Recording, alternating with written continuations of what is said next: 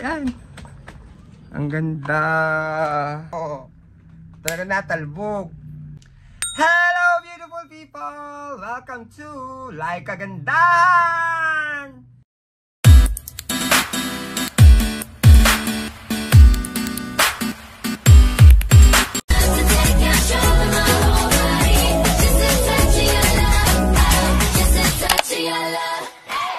Hello guys! Welcome back to my channel. So for today's video ay mag-unbox tayo ng dumating kong parcel na matagal ko nang hinihintay. Kasi actually, ito kasi dapat regalo sa akin ng friend ko nung December. Papasko niya sa akin.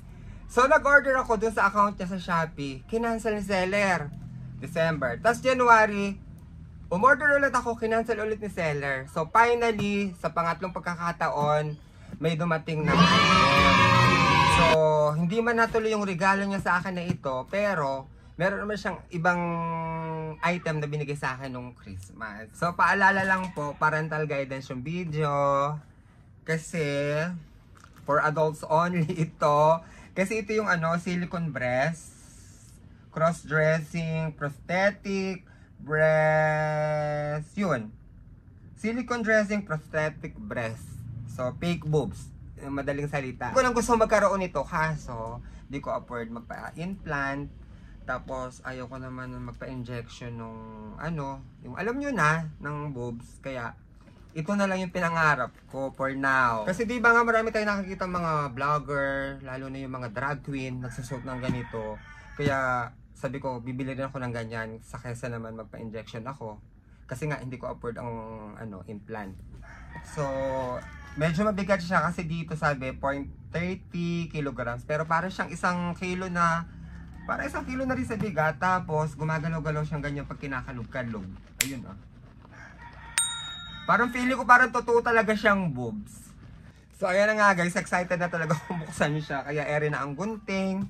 At ako ay magbubukas na ng box. Ayan, nakaka-excite. Ano ka itsura niya sa ano, sa personal. Kasi hindi pa ako nakakakita ng ganito sa personal. Nakakakita lang ako online. Sa mga video. Sa picture. Alam mo na. Kaya, sobrang na-excite talaga akong sa air eh. Dapat ingatan na pagtusok ng gunting at baka sumaya doon sa ano. Sa item. Diyos ko, eh di masisira. Baka mabutas. Nanay ko. Ingatan ko maigi. At Diyos ko, sayang. Ero pa na may kamahal. Ang bili, din, ang bili ko din ni ano 2,308 pesos, parang ganun. Kasama na ang shipping. So finally, dumating na rin ang aking pinakahihintay. Ayan na siya, nakikita ko na. Oh my God. Nakaka-excite buksan. Ayan na siya. Ayan na guys, oh, naka-plastic. Ayan guys, oh. Tapos may kasama siyang something. Ano kaya, ere? Lucien. Ano, Luician. Ayan, oh. Ano kaya, ere? Hindi ko naman mababasa. Chinese na nakasulat. Diyos ko po. Ano ba, ere? Kundi, unahin natin na rin tingnan. Bago natin buksan yung pinaka-main product. Kung ano to. Ay, para may powder. Nung pagbukas ko may ano, may powder na something sumama sa hangin. Ano kaya ito? Tapos madulas. Oo nga, may powder nga siya. Ang bango. Mabango siya, promise. Hindi ako nag Ah, okay, powder talaga siya yung laman. Siguro, bago siya isuot, lalagyan mo, pupunasan mo muna ng powder na ganito bago isuot sa ano, sa katawan yung ano, yung pinaka fake boobs. Kasi powder talaga siya. Ayan, oh, naka-plastic. Nabuksan na nga. O, oh, ayan. Nagtapo na, na sa mismong ere.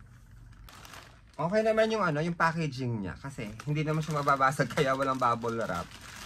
Tapos, eto siya, naka-plastic. Naka-ziplock. Buksan natin yung ziplock. Tapos, naka-plastic ulit. Mabigat nga talaga siya kahit wala sa box, oh. Ayun siya, oh. Tanggalin natin talaga. Tanggalin ko na siya sa plastic. Oo, oh, ayan na siya. Ah, ganun nga yung mga nakikita ko sa online. Yung mga ano, ganito itsura. Padamit siya, oh. Takpan natin yung pinakaganto kasi baka tayo mga MTRCD. Ayan. Oh. Tapos meron din siyang pa-collarbone. Oh. Kaya lang yung kulay. Parang hiwalay sa kulay ko. Hindi ko yata kakulay. Oh. Pero guys talaga, ang ganda niya. Malambot. Oh. Para may tubig sa loob. Kakayot. Ako excited na rin. Oh my God. Ayan guys, oh, para siyang sando.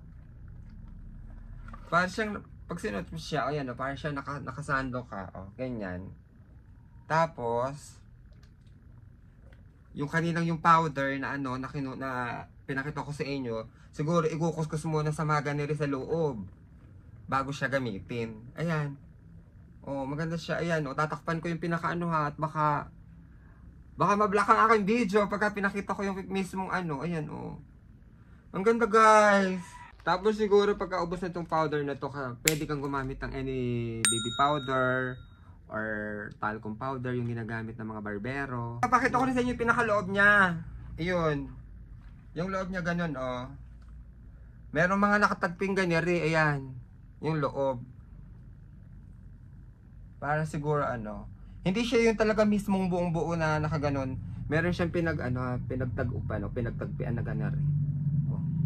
Tapos ganyan yung loob mo. Ay, Diyos ko po. Lumabas, lagot ako. Huwag naman sanang mablock ang aking video. Ayan, oh. oh. Kakatuwa siya. O talaga nakalug-kalug.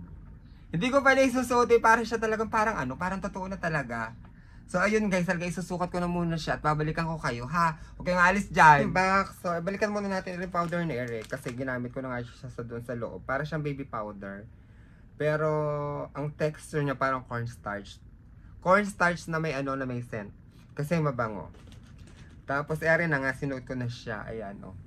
Yung sa leeg, alam niyo, ano mabansa yun, may mga ring din sa leeg na gayon.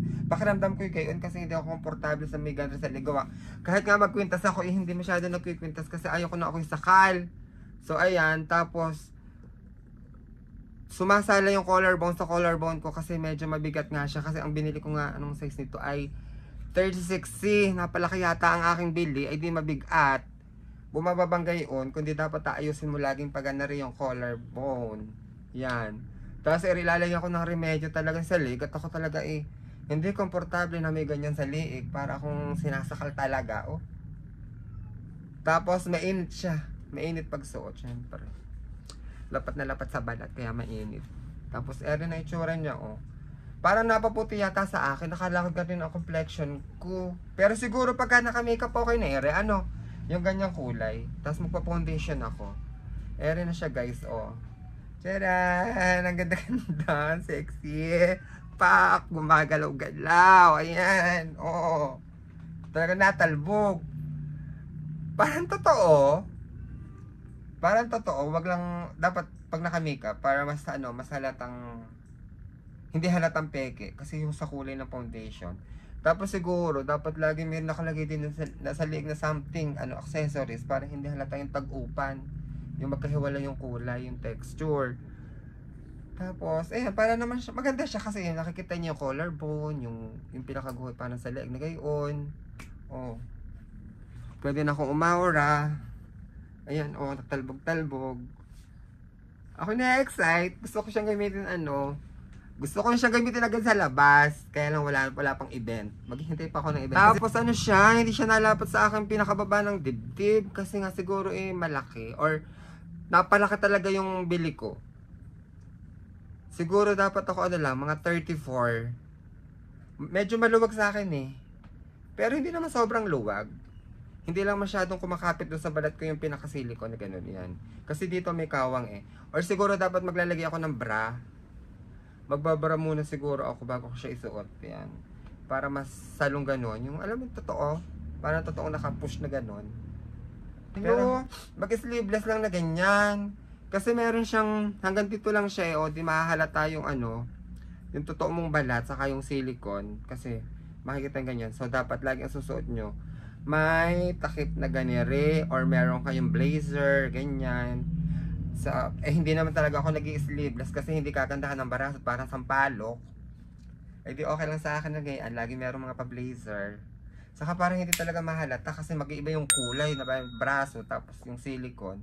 Huwag sana nang mablock ang aking video tapos makakali ako yan porn star. So ako tatayo, tetestingin ko siya pagka naglalakad. Kung ano itsura niya. Kung nakalog siya pag naglalakad, oh, parang feeling ko talaga eh, meron akong totoong buging. Oh. Hmm? Kakauran ang talandi. Nalabas ang ano, jutong say. My God.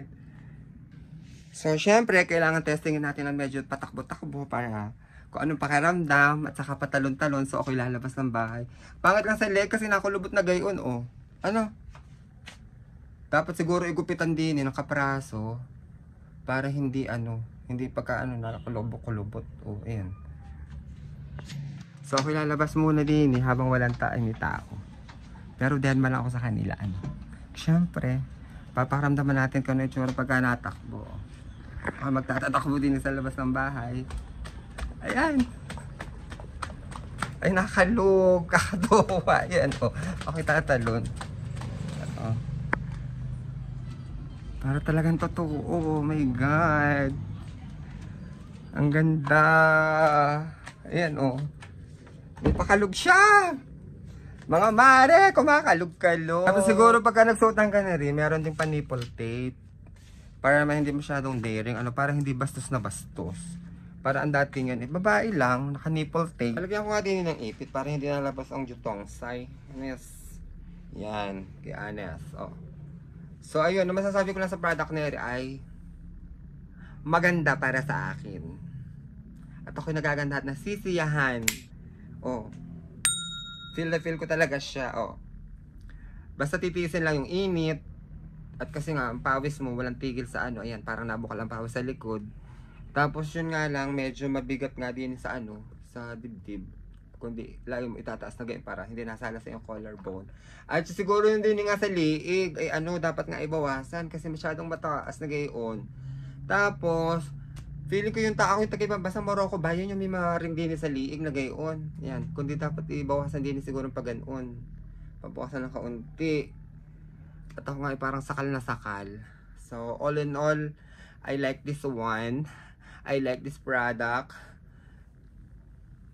Nadagdagan ng aking ganda yata kahit sa buging. Yan. So, yun. Thank you, Shopee. Ayan guys, sinubad ko na. Ayan pawis na pawis. So, siguro feeling ko dapat pagkakagamit ito huhugasan para hindi mag mag-stain yung pawis, yung amoy ng pawis dito sa silicone. Pero talaga namang ano, tagaktak yung pawis pag suot. Talaga napakainit. What more kaya yung ano yung nakikita ko sa online na yung buong katawan na ganito.